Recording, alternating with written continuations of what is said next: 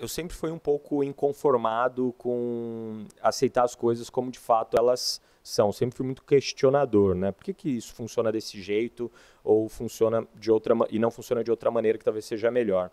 Bom, o conselho que eu dou é que a tecnologia ela veio para ficar. Não adianta a gente querer brigar contra a tecnologia, né? Não adianta a gente querer viver a mesma coisa que o taxista viveu contra o Uber. A gente tem que entender, cara, como que eu consigo utilizar essa tecnologia a meu favor? E como eu consigo utilizar isso para que eu faça com mais eficiência aquilo que eu já faço hoje, ou também que isso me traga mais clientes, me traga mais vendas, me traga mais faturamento.